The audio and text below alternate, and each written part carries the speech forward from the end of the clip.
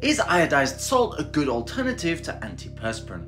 Now we know our fragrant arm canyons are caused by bacterial growth that take molecules from our sweat and convert them to thioalcohols which are quite pungent. Antiperspirants which work best when applied at night actually form a gel layer on the sweat glands which reduce the bacterial growth and the smell. Off the back of a purely theoretical paper by Darbre and colleagues in 2005, people got concerned that breast cancer was caused by these aluminium salts because it's most likely to form in this area of the breast closest to the armpit. But a study on 1600 showed it had no effect on breast cancer. In a similar way to how we used to use salt to preserve meat, it could work for a few hours by killing bacteria but won't stop sweat. I'd use benzoyl peroxide instead.